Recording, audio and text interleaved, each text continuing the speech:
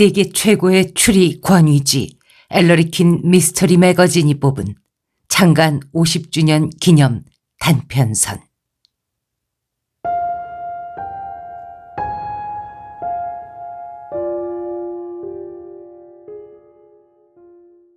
데이빗 알렉산더 추리 소설 선한 수도사의 복수 방법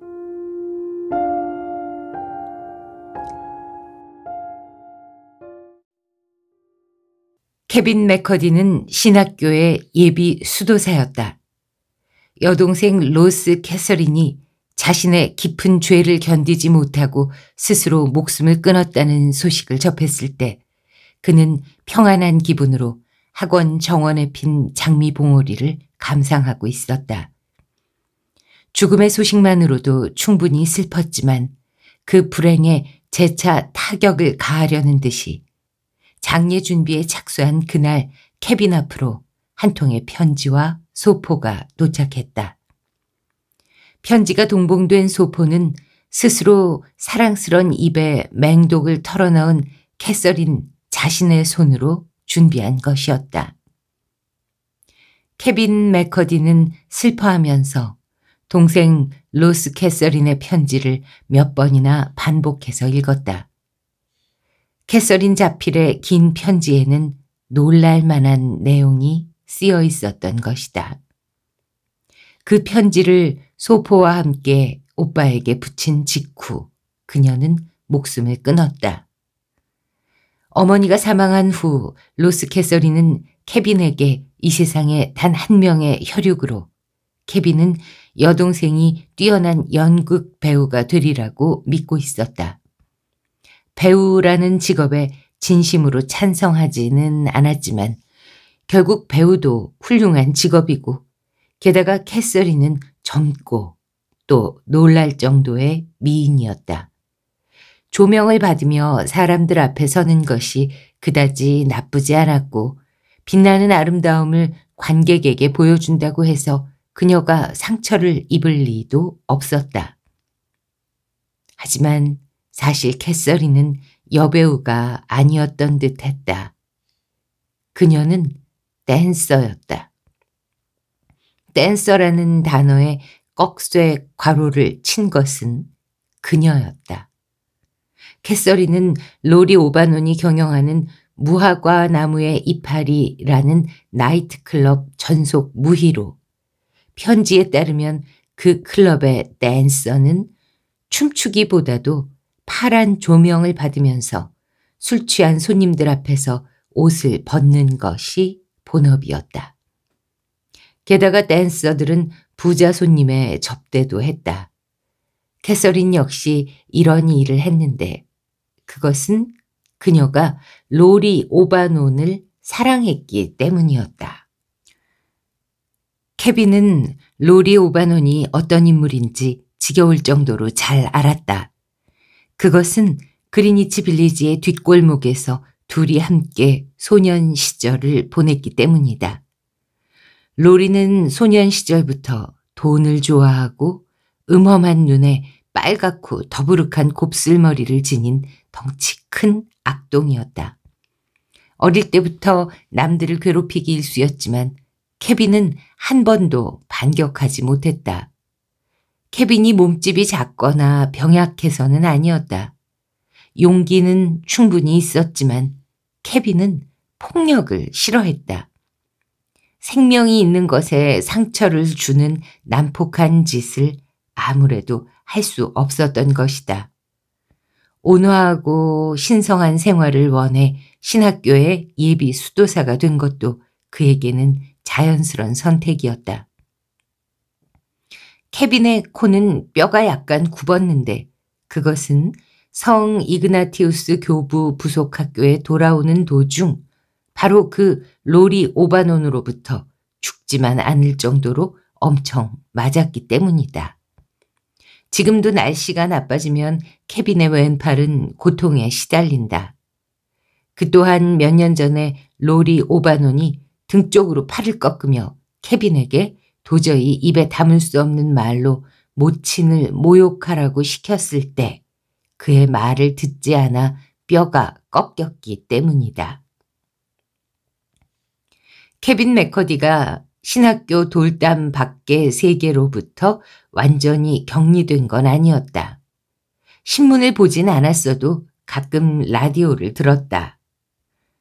그는 로리가 성인이 되어 어떤 사람이 됐는지도 알고 있었다. 경찰은 몇 번이나 로리를 체포했고 법정은 자주 그를 신문했지만 로리가 형무소에 보내진 건 딱 한 번 무기 불법 소지죄로 현행범으로 체포됐을 때뿐이었다. 로리 오바노는 마테로의 부하라는 것이 한결같은 소문으로 마테로는 마약 밀매나 매춘 중개라는 악업을 일삼는 대규모 범죄 조직의 두목이었다. 하지만 로리는 경찰에게 신문당할 때 묵비권을 행사하거나 자신은 세금을 내는 선량한 시민이라고 주장했다. 로리가 경영하는 나이트클럽이 수상쩍다는 소문이 오래전부터 돌았지만 경찰은 증거를 잡지 못했다. 푸른 조명 밑에서 옷을 벗고 폐점 후에 가게 손님을 상대하는 것까지는 아직 참을 수 있었다. 로스 캐서린의 편지에 그렇게 써 있었다.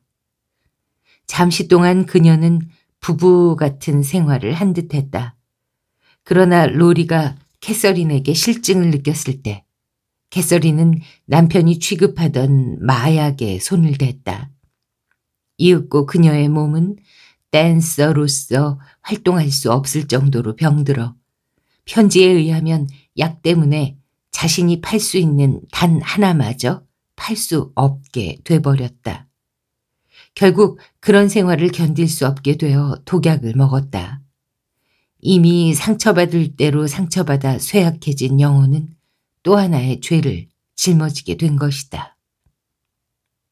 편지와 함께 도착한 소포 꾸러미에는 캐서린의 일기가 들어있었다.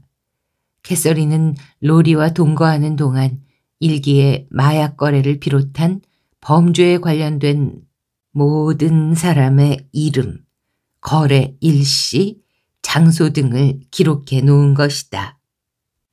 이 일기에는 마테로의 이름이 빈번하게 등장했다. 캐서린은 이 작은 일기에 기록된 정보를 통해 오빠가 로리 오바논과 그의 썩은 왕조를 붕괴시켰으면 하고 바랬다. 캐서린의 장례식이 끝나자 케빈은 신학교 원장인 프란시스 신부에게 가서 편지와 일기의 내용에 관해 말했다. 케빈의 가족뿐만 아니라 케빈 일가가 예전부터 알고 지내던 이웃 사람들과 친숙했던 프란시스 신부였다. 그 편지와 일기를 다니 미간에게 보냈으면 좋겠는데 다니는 자네 이웃에 살았던 어릴 적 친구였지 아마. 게다가 다니는 자네의 동생을 사랑했지.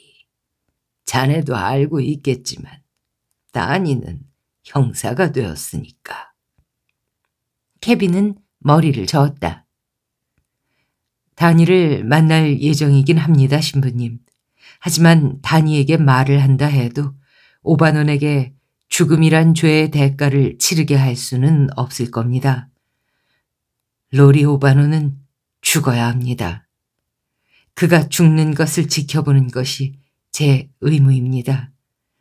그것을 말씀드리러 왔습니다, 신부님. 저는 맹세를 저버리고 속세로 돌아가지 않으면 안 됩니다. 늙은 신부는 자신의 눈을 의심이라도 하듯 왜소한 젊은이를 물끄러미 바라보았다.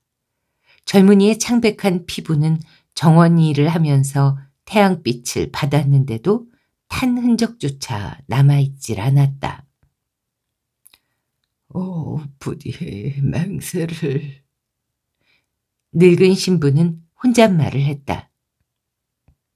예수의 수도사의 충절과 청빈의 맹세를. 케빈 맥커디는 말을 이었다. 저는 부자도 아니고 책략가도 못 됩니다, 신부님. 하지만 신부님께선 절대로 모르시겠지만 저는 저 나름대로의 충절이 있습니다. 로리 오바노는 죽어야 한다는 제 내면의 목소리에 따르겠습니다. 그건 악마의 목소리다. 네, 지금 제 마음을 사로잡고 있는 건 악마지 구세주는 아닙니다. 그러나 로리 오바논이 죽는 걸 지켜보는 것은 제 사명이고 그 사명으로부터 도망칠 수도 없습니다. 신을 모독할 작정은 아닙니다. 신부님, 그러나 신의 자비와 관대함으로 포용할 수 없을 만큼 사악한 인간이 이 세상에는 있습니다. 로리 오바논 같은 남자에게는 악마가 어울립니다. 어, 형제여. 자네는 깊은 놀라움과 슬픔에 제정신을 잃었네. 자네가 말하는 것은 로리 오바논을 죽이는 계획과 마찬가지라는 걸 알고 있는가? 로리 오바논에게는 죽음이 어울립니다. 케빈은 완강하게 반복했다. 노 신부는 머리를 젓고 희미하게 웃었다. 아니, 형제여, 걱정은 하지 말게. 자네는 어느 신부보다도 선한 남자지. 구세주가 십자가 위에서 사망한 후부터 이 세상에 태어난 자 중 누구보다도 선한 사람 중 하나라네. 그러니 걱정 말게. 언젠가는 그 기분도 안정이 될 거네. 자네에게 사람을 죽이게 할 수는 없어. 자네는 생명이 있는 그 어떤 생물에게도 상처조차 줄 수 없는 사람이네. 뭐, 가겠다면 가도 좋아. 지금 관구 신부에게는 알리지 않도록 하겠네. 자네는 돌아오네. 나는 그렇게 믿고 있네. 저는 원래의 세계로 돌아갑니다, 신부님. 케빈은 고집스럽게 말을 이었다. 로리 오바논에게는 죽음이 어울립니다. 그것을 지켜보는 것이 제 의무입니다. 케빈 맥커디는 주름투성이로 된 시대에 뒤떨어진 옷을 입고 신학교를 뒤로 했다. 손에 들고 있는 짐이라곤 편지와 일기뿐이었다. 우선 처리해야 할 문제는 일에 착수할 때까지 당면의 식사비와 숙박비를 해결할 방책이었다. 전혀라고 말해도 좋을 정도로 세상 물정에 어두운 케빈이긴 하지만 그다지 걱정되진 않았다. 소년 시절 그는 부친의 친구인 길버트 형제의 가게 일을 도와 식료 잡화 배달을 했었다. 성장하고 나서는 프리카 거리에 있는 데리카 텍션의 가게에서 점원도 했다. 아무튼 그는 길버트 형제 가게에 들러 또 전처럼 일하게 해달라고 부탁할 작정이었다. 돈은 조금만 있으면 된다. 그 낡은 가게를 방문했다. 가게는 옛날 그대로 좁고 긴 가게 안은 약간 어두웠고 치즈와 후추 냄새를 강하게 풍겼다. 길버트 형제 자코모, 하리, 찰리 세 사람은 나이는 들었지만 예전 그대로 떠들기 좋아했고 친절했고 가업에 정성을 다했다. 사슴머리도 아직 벽에 걸려 있었다. 길버트 형제는 세 명 모두가 사냥을 좋아해서 케빈의 부친도 때로 그들 세 명을 따라 뉴욕주 북부나 뉴저지, 나아가서 더 북쪽인 캐나다까지 사냥 여행을 떠난 적이 있었다. 그 옛날 자코모는 사슴을 사냥한 적이 있었는데 벽에 걸린 것은 그때의 사슴머리다. 지금은 더러워져 한쪽이 잘라져 나갔다. 한설인 유리눈의 사슴눈을 보고 있자니 케빈은 기분이 상당히 우울해졌다. 길버트 삼형제는 환호성을 지르며 케빈을 맞아주었다. 처음에는 세 사람 모두 케빈 맥커디가 수도사 생활에 실증을 내고 정말 속세로 돌아왔다고 믿으려 하지 않았다. 하지만 케빈이 진짜라고 거듭해서 말하자 급료가 싸다는 걸 강조하면서도 기분 좋게 점원으로 고용해 주었다. 찰리가 말했다. 우리 세 사람 모두 나이가 너무 많이 들어버렸어. 가게를 여는 시간이 오래 걸리니까 좀 거들어 주겠나? 케빈은 거리를 사이에 두고 가게 맞은편에 가구가 달린 방을 찾았다. 2층 방으로 거리에 접해 있어서 창가에 앉으면 차나 마차, 아일랜드인이나 이탈리아인이 지나가는 것이 보였다. 그가 처음으로 성찬식에 나갔던 낡은 교회도 멀리 보였다. 1, 2주일이 지나 새로운 생활이 익숙해지자 케빈은 로리 오바논을 죽일 계획에 착수했다. 1, 2주일이 지나 새로운 생활이 익숙해지자 케빈은 로리 오바논을 죽일 계획에 착수했다. 길버트 형제와 상의해서 케빈은 매일 아침 8시에 가게를 열었다. 세 사람은 케빈에게 가게 열쇠를 아예 건네주었다. 10시가 되면 자코모가 도와주러 오고 그 후에는 하리, 마지막으로 찰리가 나타난다. 찰리는 밤 10시 폐점까지 가게 일을 보았다. 케빈은 오후 5시에 일을 끝내기로 약속했지만 가게가 바쁠 때는 저녁 식사 시간이 훨씬 지날 때까지 거들어 준 적도 있다. 식사는 근처 싸구려 식당에서 해결했지만 뭘 먹을지 하는 문제엔 관심이 없었다. 때로는 식사를 하는 것조차 잊어버려 한밤중에 쿡쿡 찌르는 듯한 심한 공복에 눈을 뜨고 놀란 적도 있었다.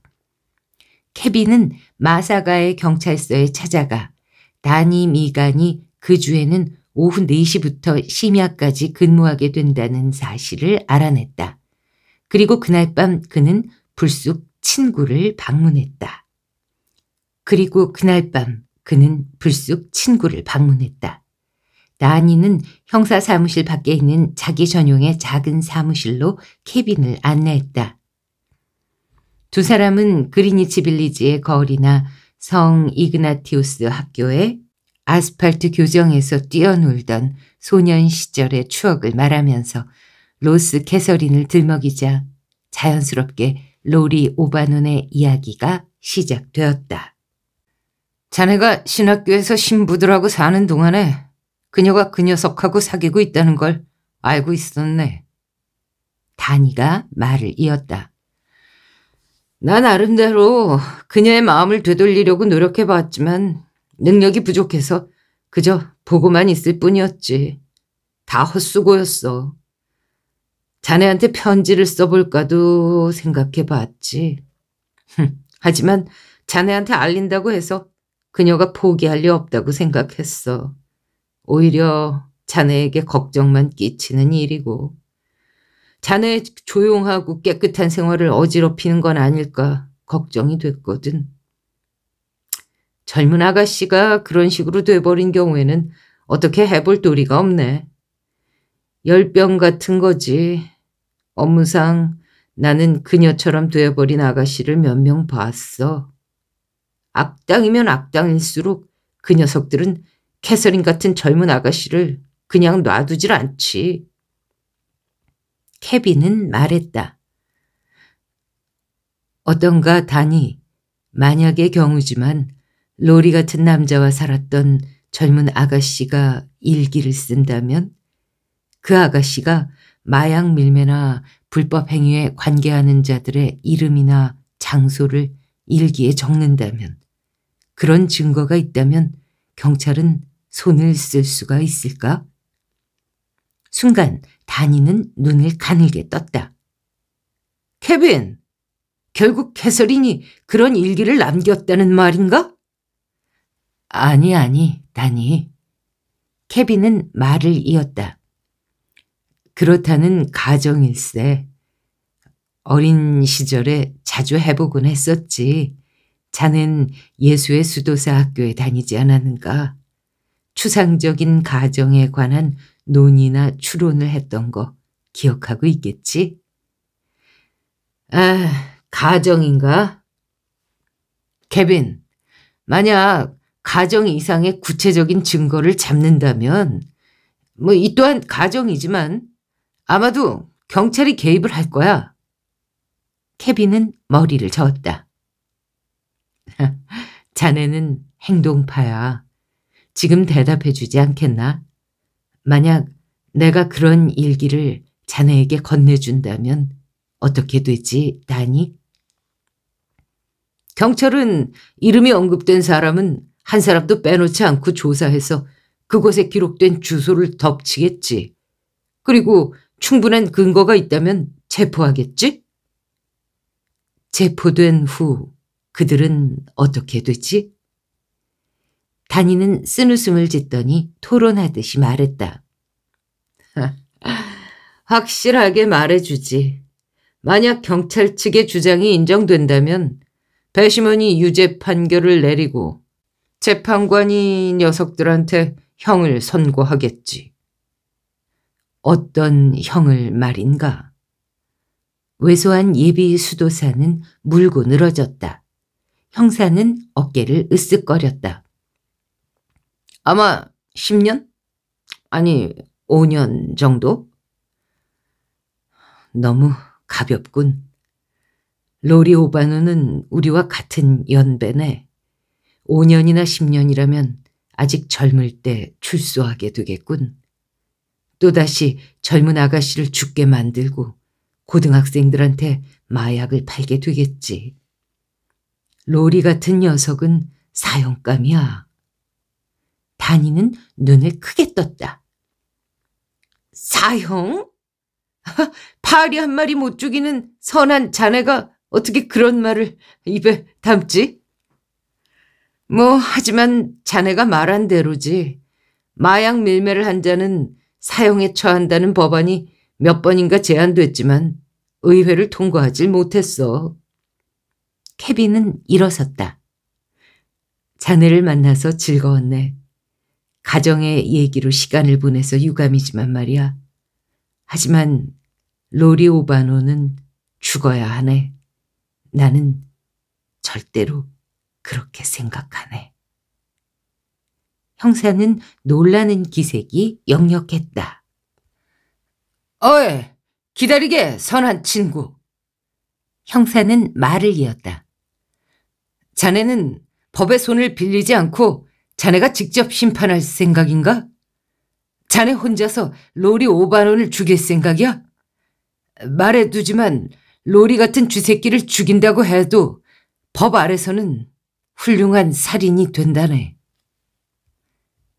케빈은 고개를 끄덕이고 깊은 생각에 잠겨 있다가 대답했다. 알았네. 만약 이건 가정이 아니야. 어, 만약 생각나면 또 찾아와도 되겠나, 다니? 다니 미가는 말을 이었다. 잘 생각해 보게.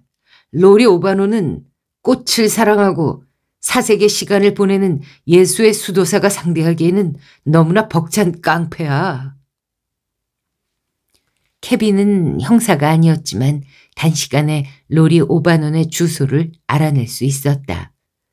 공원 안에 있는 로리의 호화스런 펜트하우스 사진이 신문에 가끔 실렸기 때문이다. 일을 마친 후 이틀 밤을 공원 벤치에 앉아 비둘기에게 빵 조각을 주면서 로리의 호화스런 펜트하우스 현관을 지켜보았지만 로리와 비슷한 남자의 그림자조차 볼 수가 없었다. 사흘째 밤 케빈은 빨리 가게를 나와 저녁 식사 전에 얘 그 공원으로 가 벤치에 앉았다. 자지 않고 계속 망을 본 보람이 있었다. 중절모 밑으로 더부룩한 빨간 머리를 드러낸 덩치 큰 남자가 유리로 된 금속재의 최신식 현관에서 으스대는 표정으로 걸어 나왔다. 양 옆에는 얼간이처럼 보이는 남자들이 따라붙었다. 두 사람 다 셔츠 어깨 부분에 우스꽝스러울 정도로 패드를 넣어 부풀렸고 헐렁한 모자를 쓰고 있었다. 세 사람은 대기하던 리무진에 올라탔다. 불량스럽던 로리가 소년원에 들어간 이후 케빈은 로리를 본 적이 없었지만 바로 그 사나이가 로리라는 걸 알았다. 로리의 사진이 신문에 가끔씩 크게 실렸기 때문이다. 로리는 옛날보다 훨씬 키가 컸다. 배가 남산만큼 나왔고 음험하고 조악한 표정은 옛날 그대로였다. 그 후 일주일 동안 케빈은 매일 비둘기에게 빵 부스러기를 주면서 계속 망을 보았다. 매일 밤 로리는 얼간이들을 데리고 연구차 같은 큰 리무진을 타고 나타났다. 로리의 일과는 선량한 시민이 무색할 정도로 규칙적이었다. 예외로 밤마다 몇 분간만 늦춰질 뿐이었다. 케빈 맥커디는 이제 주저없이 망보기를 중단할 수 있었다. 케빈 말고도 비둘기에게 먹이를 주는 사람들이 있었기 때문에 비둘기는 지금 배가 터질 정도로 볼록했고 언제 어디서 로리 오바논을 만날 수 있는지 알아냈기 때문이다. 사악한 인간들이 사는 속세로 돌아오고 나서 두 번째 안식일이 되었을 때 케빈은 버스를 타고 신학교가 있는 허드슨 강변의 조용한 마을로 돌아갔다. 신부들은 평범한 일반 사람들과 마찬가지로 각각 나름대로 취미를 가지고 있었다. 프란시스 신부의 취미는 사진 촬영으로 그는 여러 종류의 렌즈나 필터가 달린 카메라를 갖고 있었고 창고를 암실 대용으로 사용했다. 또한 신부는 자신의 작품을 모은 앨범을 지니고 있었다. 이 앨범에는 맡은 일에 부지런하고 면하게 정진하거나 추도식에 출석한 신부와 신학교 학생, 수도사의 사진들이 들어 있었다. 그는 선한 예비 수도사 케빈을 진정으로 사랑했기 때문에 케빈에게 셔터 스피드나 렌즈의 조립과 같은 기본적인 기술을 이것저것 가르쳐 주곤 했다. 태양이 내리쬐는 안식일 오후 케빈 맥커디가 독서 중인 신부의 방으로 들어가자 신부는 진심으로 기뻐했다. 일렬로 늘어선 책상 위에는 하얀 석고로 된 성모상이 놓여 있었다. 신부는 방탕한 자식이 집에 돌아오기라도 한 것처럼 기뻐했다. 어쩌면 이 신학교 출신 중 최상의 신부가 될 케빈을 꼭 붙잡아 두려는 의지가 엿보였다. 하지만 케빈이 아주 돌아온 것이 아니라 카메라와 암시를 빌리러 왔다는 사실을 알고 신부는 주름진 얼굴에 낙담의 빛을 보이며 시선을 떨어뜨렸다. 자네는 오바논에게 집착하는데 그쪽은 어떻게 되었나? 오바논이라면 몇 번인가 보았습니다. 멀리서 보긴 했지만 케빈은 말을 흐렸다. 노신부는 납득하지 못했지만 케빈에게 카메라와 암시를 사용할 것을 허락했다. 그렇지만 카메라나 현상액이 악마의 일에 사용될지도 모른다는 두려움마저 느끼는 것 같았다. 케빈은 가지고 있던 일기 중에서 이미 표시를 해둔 몇 페이지를 촬영했다. 필름을 현상하고 인화지를 줄에 걸어 프란시스 신부의 작은 선풍기로 말렸다. 사진이 마르는 동안 그는 노신부와 포도주를 마시면서 친절한 길버트 형제나 다니 미간에 대해서 얘기했다. 하지만 자신이 현상한 사진과 죽은 여동생, 그리고 로리 오바논의 얘기는 한마디도 꺼내지 않았다.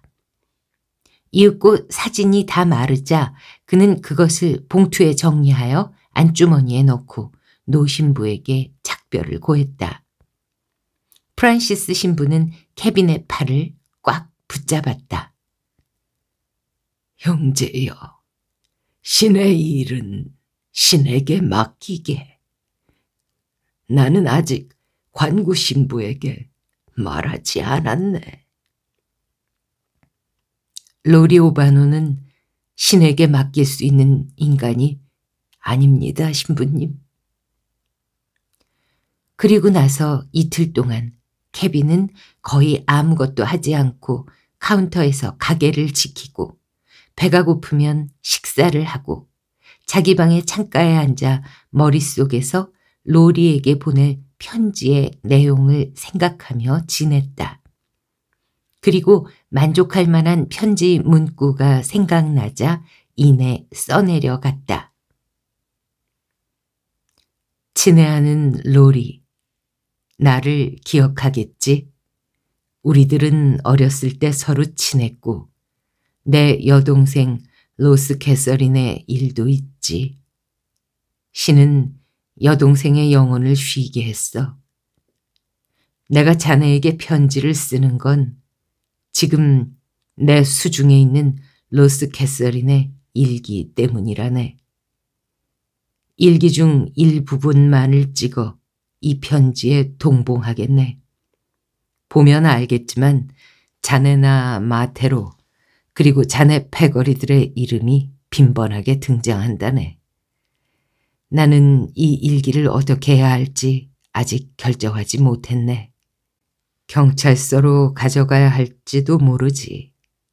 하지만 그러기 전에 자네에게 얘기하고 싶은 것이 있다네.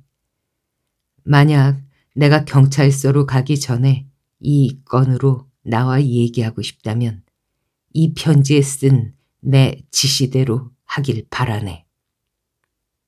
다음 주 일요일 오후 3시 15분 정각에 아래 주소에 2층 방으로 와주게. 나는 창문으로 거리를 내려다보고 있을 테니까 누군가를 데리고 온다 할지라도 그들은 안으로 들어오지 못할 걸세. 게다가 정각 3시 15분이 아니면 자네도 방으로 들어오면 안 돼. 함정을 파두었는 것 따위에 걱정을 할지도 모르지만 자신에게 불리한 증거가 경찰에 넘어가는 걸 수수방관하진 않겠지? 만약 일요일 3시 15분에 자네가 나타나지 않는다면 나는 즉시 경찰서로 찾아갈 생각이네. 예정대로라면 일기는 3시 30분까지는 경찰 손에 들어갈 거야. 그렇게 되면 자네나 마테로도 그리고 다른 동료들도 틀림없이 체포되겠지. 그리고 자네와 내가 얘기만 한다면 체포되지 않고 일이 끝날 수 있다는 사실을 마테로에게도 반드시 알릴 작정이네. 케빈은 편지에 사진을 동봉해 우체통에 넣은 뒤 브리카 거리의 작은 가게에 들러 하숙집 현관과 방의 여벌 열쇠 두 개를 만들었다. 그리고 마사 거리로 형사 다니를 찾아갔다. 좁은 사무실에서 다니와 둘이 있게 되자 케빈은 말을 꺼냈다. 다니, 이번엔 가정이 아니라 확실한 지점에 이르렀네. 만약 내가 말한 대로 해준다면 자네는 그 녀석을 유죄로 만들 만한 충분한 증거를 입수할 수 있을 거야. 다음 주 일요일에 꼭 체포할 수 있을 거네. 케빈은 다니에게 여벌 열쇠를 주고 종이에 자기의 하숙집 주소를 써서 건네주었다. 큰 열쇠로 현관문을 열고 계단을 오른 후 거리에 면한 좌측방의 문을 작은 열쇠로 열게. 자네가 할 일은 그것뿐이네. 하지만 만약 형사로 출세하고 싶다면 정각 3시 30분에 와주게. 1분이라도 늦거나 빠르면 안 되네. 다니는 거친 목소리로 도대체 뭘 하려고 그러는지 모르겠지만 로리 오바논이란 작자는 방울뱀처럼 위험한 남자라고 경고했다. 케빈은 다니를 진정시켰다. 말한 대로 해주게. 그렇지 않으면 이 얘기들 모두 없던 것으로 하겠네. 선한 예비 수도사에게 있어서 다음 문제는 총을 입수하는 일이었다. 그는 총에 대해 자세히 몰랐지만 화기를 구입하기 위해서는 허가서가 필요하다는 것 정도는 알고 있었다. 하지만 허가서를 받아낼 만한 좋은 구실이 떠오르지 않았다. 가장 간단한 방법은 길버트 형제가 가지고 있는 사냥용 소총을 사용하는 것이다. 총은 가게에 있는 방 선반에 있다. 그러나 그 소총을 사용한다는 건 양심에 찔리는 일이다. 케빈 맥커디에게 있어서 선악을 판단하는 건 매우 쉬운 일이었지만 두 개의 죄 가운데 어떤 것을 선택할 것인가 라는 문제는 그렇지가 못했다. 생각 끝에 그는 훔치는 것보다는 거짓말하는 것이 양심의 가책을 조금 덜 받으리라 여겼다. 그리고 어느 날 아침 길버트 형제 중 다른 두 사람이 나오기 전에 케빈은 장남인 자코모가 있는 곳으로 갔다. 세 사람 중에서 자코모가 가장 속여 넘기기 쉬우리라 생각했기 때문이다. 자코모 씨. 자기 목소리 어딘가에 허위의 울림이 번져가는 걸 느끼면서 케빈은 말했다. 이번 일요일 친구들로부터 사냥을 가자는 권유를 받았습니다만 어, 총을 좀 빌려주실 수 있겠습니까? 자코모는 생각만큼 속이기 쉬운 상대가 아니었다. 그는 케빈을 째려보면서 코수염을 비틀었다. 네가 하 사냥하러 간다고 놀랍군. 자네가 어릴 때 자네 아버지가 총의 사용 방법을 가르쳐 주려고 했던 때를 나는 기억하고 있지. 자네는 공기총으로 토끼를 쏘는 것조차 싫어했어. 자네가 내 사냥총으로 쏘려는 것은 토끼나 다람쥐가 아니라 더 큰 사냥감이겠지. 그러니까 총은 빌려줄 수 없네. 노인은 화난 듯이 콧수염을 비비 꼬면서 말을 이었다. 게다가 자네에게는 사냥에 필요한 허가서도 없을 거야. 그날 늦게 자코모는 케빈을 불렀다. 자네가 미워서 빌려주지 않는 게 아니야. 하지만 내 충고를 듣도록 해. 나는 늙었고 자네 부친의 친구야. 부친의 영혼을 놀래킬 만한 짓은 하지 말게나. 자네는 폭력에 어울리질 않아. 죄인을 벌하는 건 신과 경찰에게 맡겨두도록 해. 길버트 형제도 캐서린과 로리 오바논의 관계를 알고 있었다. 누구나가 알고 있었다. 모르는 사람은 케빈 혼자였던 것 같다. 그는 신학교에서 신의 정원을 가꾸는데 너무 바빴기 때문이다. 결국 케빈은 두 가지 죄를 범하고 말았다. 이미 거짓말을 해버린 것에 더해서 이번에는 도둑질을 하게 되었다. 편지를 붙이고 나서 이틀 후인 금요일, 가게 창으로 흘끗 밖을 내다본 케빈은 두 남자가 그의 하숙집을 살피는 것을 볼 수 있었다. 남자들이 입고 있는 셔츠의 어깨는 패드로 부풀어져 있었고 쓰고 있는 모자도 헐렁헐렁했다. 하지만 주위에는 영구차 같은 검고 큰 리무진이나 로리 오바논의 모습이 보이지 않았다. 두 얼간이들은 거리의 모퉁이에 있는 선술집으로 들어갔다가 이윽고 돌아와 길버트 형제의 가게로 들어왔다. 필시 케빈의 어릴 적 친구였던 바텐더에게 케빈이 지금 이곳에 있다는 소식을 들었을 것이다. 두 사람이 곧장 케빈에게 다가오고 있을 때 케빈은 근처에서 일하는 손님에게 영웅 샌드위치를 만들어주고 있었다. 영웅 샌드위치란 가늘고 긴 이탈리아 빵으로 한가운데를 잘라 향료를 바른 고기와 치즈를 넣은 샌드위치였다. 두 사람은 케빈의 왜소하고 허약한 용모를 보자 얼굴을 마주보며 휘파람을 불어댔다. 케빈은 샌드위치를 다 만들고 마치 처음 보는 것처럼 두 얼간이들의 주문을 받으려는 표정을 지었다. 그걸 하나 주게. 한쪽 남자가 큰 샌드위치를 손가락으로 가리켰다. 두 개.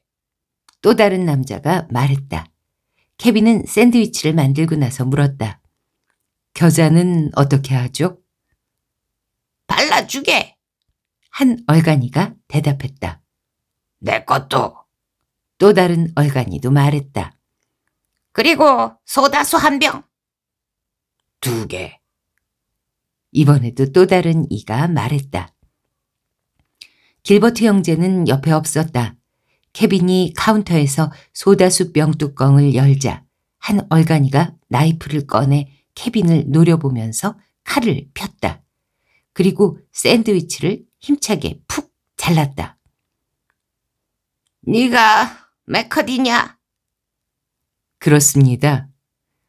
일요일 3시 15분에 너한테 손님이 찾아갈 거야. 그분에게 우리들이 말한 대로 해라.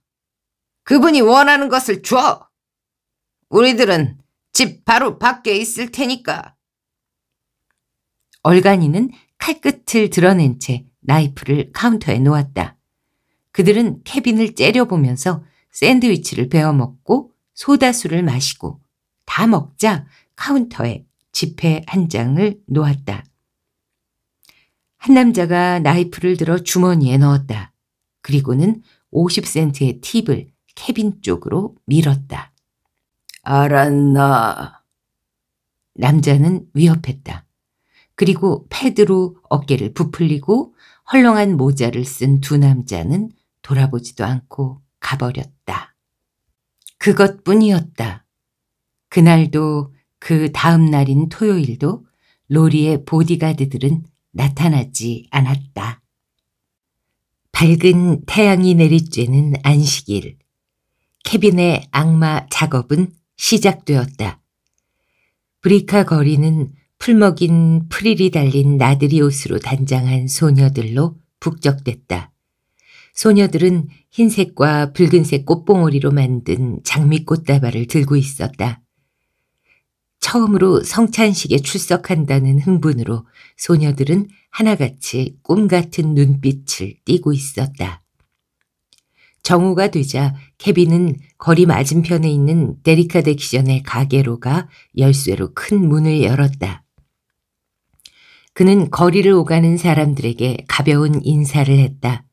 사람들은 케빈이 가게에서 일하고 있는 줄 알고 있었기 때문에 가게가 닫혀 있을 시간인데도 가게 안으로 들어가는 케빈을 보고 전혀 이상하게 생각하지 않았다.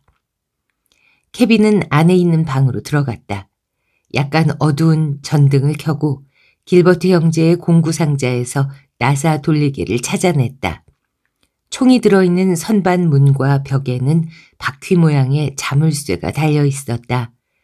5분 정도 걸려 한쪽 바퀴를 떼자 삐걱거리면서 문이 열렸다.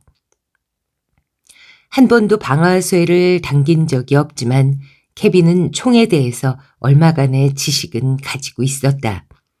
자신에게 사냥을 가르치려 한 아버지로부터 소총을 손질하는 법을 배웠던 것이다. 소총의 무게와 크기는 그에게 적당했다. 소총을 들고 그것에 맞는 탄화를 쟀다. 몰래 들고 나간다는 것에 그다지 양심이 찔리지는 않았다. 일이 끝나면 다시 제자리에 갖다 둘 것이다. 물론 탄알을 돌려줄 수는 없을 것이다. 한 번이라도 발사된 탄알은 또다시 사용할 수 없으니까. 케빈은 탄알을 한 발만 장전했다. 한 발밖에는 필요가 없었기 때문이다. 다음에는 캐서린의 일기를 꺼내 소총이 놓여있던 곳에 넣었다. 훌륭한 은폐 장소였다. 가게에 있는 고기 포장 용지로 소총을 싸고 굵은 끈으로 묶었다. 그리고 소총만 빼고는 모든 것을 원래대로 정리했다. 그러고는 꾸러미를 옆에 끼고 하숙집으로 돌아왔다. 꾸러미를 풀어 소총을 꺼낸 다음 포장지와 끈을 부활절에 장식해 넣은 흰 백합 그림이 있는 양철 쓰레기통에 버렸다. 장전이 끝난 소총은 창가 커튼 속에 세워두고 테이블에서 성서를 꺼내 창가 의자에 앉았다. 정각 12시 30분. 3시 10분 지남. 케빈은 테이블 위에서 째깍째깍 소리를 울리는 자명종 시계를 흘끗 쳐다본 후 성서를 무릎에 올려놓고 의자에 앉은 채 몸을 약간 움직여 창밖을 보았다. 바로 그 리무진이 케빈이 있는 창가 아래를 천천히 달려갔다. 차창에 기댄 얼굴이 흐릿하게 보였다. 차는 거리 모퉁이까지 달려가 차도의 주차장에 멈추었다. 곧바로 세 명의 남자가 내렸다. 한 명은 로리 오바논, 나머지 두 명은 셔츠 어깨를 패드로 부풀리고 헐렁한 모자를 쓴 남자들. 케빈은 희미하게 웃었다. 로리는 혼자 우는 것이 두려웠던 것이다. 우리들은 집 바로 밖에 있겠다. 그때 그 남자들은 그렇게 말했다. 지금 두 남자는 로리와 언쟁을 벌이는 모양이었다. 결국 한 명이 차로 돌아가고 나머지 한 명은 큰 거리를 가로질러 길버트 형제의 데리카덱션 가게 앞에 진치고 있었다. 로리 오바노는 거리를 가로질러 케빈의 하숙집 앞까지 온 후 번지수를 확인했다. 벨이 울렸다. 정각 3시 15분. 케빈은 테이블에 성서를 놓아두고 손잡이를 눌러 현관의 빗장을 열었다. 창밖을 보고 로리가 혼자 들어오는 걸 확인한 후 방문을 살짝 열고 창가의 의자로 돌아왔다. 커튼을 내리자 소총의 감촉이 느껴졌다. 계단이 로리의 무게로 삐걱거리는 소리가 들려왔다. 문을 조용히 노크하는 소리가 들렸다. 들어오게, 로리. 나는 혼자네. 로리 오바논의 거구가 입구 가득히 가로막으면서 음험한 눈이 좁은 방 안을 의심스럽게 둘러보았다. 그는 세 걸음만으로 케빈이 있는 곳까지 다가와 케빈의 팔을 들어올렸다. 그리고 아무 말도 하지 않고 케빈의 주머니와 옆구리를 두드렸다. 그리고 나서 다시 난폭하게 케빈을 의자로 밀었다. 이번에는 갑자기 선반 문을 열고 안을 들여다보았다. 침대 밑까지 조사한 거구의 사나이는 비로소 안심한 듯 했다. 그 후 의심스러운 눈길로 케빈을 쳐다보면서 짧게 불쾌한 웃음을 짓더니 의자 끝에 걸터 앉았다. 하, 일기가 있다고. 뭘 바라지? 일기는 여기에 없네. 케빈은 말을 이었다. 나밖에 모르는 장소에 숨겨두었지. 나에게 그걸 경찰서로 가지고 가게 하지 않으려면 딱 한 가지 방법이 있네. 말하지, 로리. 옛날 자네는 내가 말하고 싶지 않은 걸 억지로 털어놓도록 하기 위해 날 때렸었지. 하지만 자네 생각대로 되진 않았네. 자네 부하가 아래에 있다는 걸 알고 있네. 하지만 날 강제로 데려갈 수는 없어. 거리는 지금 사람들로 가득 차 있으니까. 저 커다란 차까지 날 데리고 가는 건 불가능할 거야. 얼마를 원하지? 로리가 음침한 목소리로 말했다. 아니, 우선 자네에게 말해두지. 그런 게 무슨 소용인가? 아무 도움도 되지 않아. 어차피 네 여동생은 마약 중독 매춘부였어. 배심원이나 재판관이 마약 중독 매춘부가 쓴 걸 증거로 받아들일까? 뭐, 그것 때문에 약간은 귀찮아지겠지. 마테로는 귀찮은 걸 싫어하는 타입이야. 귀찮은 일을 피하기 위해서라면 뭐 조금 내놓을 수도 있지. 케빈은 흘끗 시계를 보았다. 3시 23분. 아직 7분이나 남아있다. 시간을 너무 길게 잡았는지도 모른다. 꼭 15분이 아니라 10분의 여유를 두었어도 좋을 뻔했다. 케빈은 뭘 말해야 할지 생각하는 듯한 자세를 취했다. 시계는 째깍째깍 큰 소리만 낼 뿐 바늘은 좀처럼 움직이지 않았다. 결국 케빈이 입을 열었다. 돈을 원하는 건 아닐세, 로리. 나는 예수회에서 청빈을 맹세했으니까. 어떤 사실을 확인하고 싶을 뿐이네. 예수의 수도사는 사물이나 사건을 확인하는데 열심이거든. 시계는 째깍째깍 시간을 새기고 있었다. 3시 25분. 앞으로 5분. 무슨 엉터리 같은 말을. 로리가 화를 내며 말을 이었다. 뭘 확인하고 싶은가? 나는 자네가 겁쟁이라고 생각해왔네, 로리. 그걸 확인하고 싶어. 갑자기 로리 오바논의 얼굴이 붉어졌다. 그는 의자에서 일어나 이 왜소하고 선한 남자 쪽으로 다가왔다. 케빈 맥커디는 여전히 의자에 앉은 채였다. 그러나 그의 양손에는 이미 소총이 나타나 총구가 로리 오바논을 겨냥하고 있었다. 3시 26분. 움직이지 마, 로리. 케빈이 경고했다. 이 소총에는 탄알이 장전돼 있어. 앉아라. 로리 오바노는 앉았다. 니놈이 속였구나. 속았네, 로리. 그러나 자네에게는 아직 기회가 있어. 내가 약속하지. 분명 자네는 겁쟁이이고 사람을 죽일 용기는 없어. 난 그걸 증명하고 싶네. 3시 27분. 케빈 맥커디는 창밖을 보았다. 커다란 검은 리무진은 아직 거기에 그대로 있었다. 맞은편에 있는 얼간이가 움직이지 않고 서 있었다. 그때 케빈은 다니 미간이 다가오는 것을 보았다. 다니는 초조할 정도로 천천히 걷고 있었다. 앞으로 1분만 있으면 나는 저 문으로 나간다, 로리. 케빈은 말을 이었다. 일기를 갖고 경찰서로 갈 작정이네. 딱 한 가지 날 저지할 방법이 있지.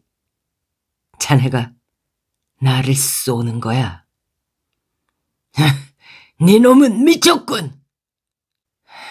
좋아, 돈을 지불하지. 알겠나? 아주 많이 주겠다고. 넌 그걸 교회에 헌금하면 되잖아.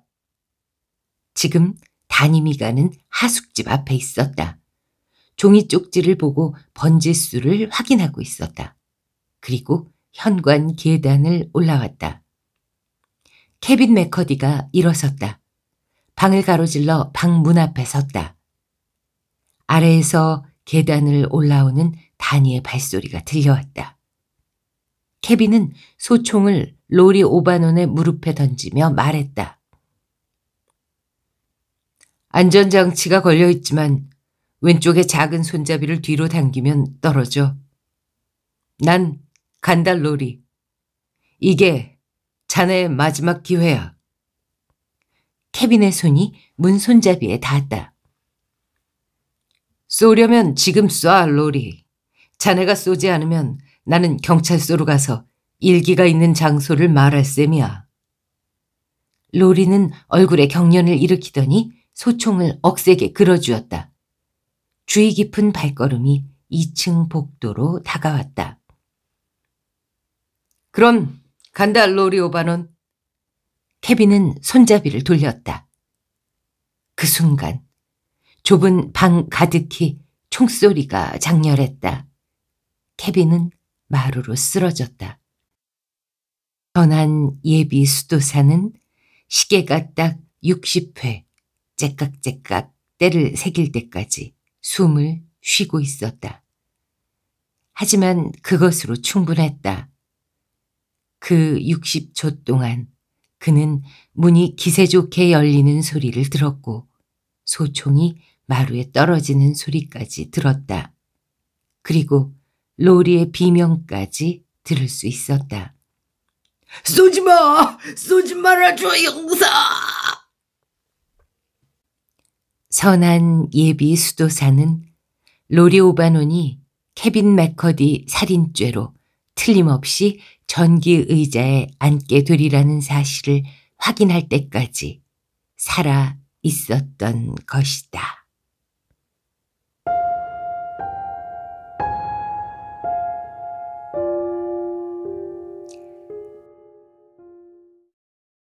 네. 선한 수도사의 복수 방법. 어떻게 들으셨나요? 저는, 어, 이 수도사가 이렇게 선하다는 사람이 살인을 정말 저지르려는 걸까? 악마의 편에 서겠다고 했는데 도대체 무슨 일이 벌어질까? 엄청 마음 졸이면서 어, 끝까지 읽었거든요. 야, 이렇게 지혜롭게 자신을 희생하는 방법으로 동생의 원수를 갚아주네요. 어, 이 놀라운 작품은요, 데이빗 알렉산더라는 작가가 썼습니다. 음, 1907년생, 1973년에 세상을 떠났고요. 뉴욕에서 가장 오래된 스포츠 예능 전문지 Morning Telegraph라는 어, 잡지가 있는 모양이에요.